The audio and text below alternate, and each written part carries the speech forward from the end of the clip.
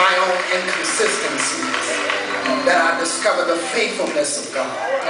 That is when we understand that God is not just being faithful, but rather God is faithful.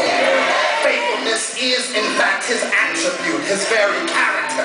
It is who he is. It is when we are faced in difficult situations that we discover the faithfulness of God.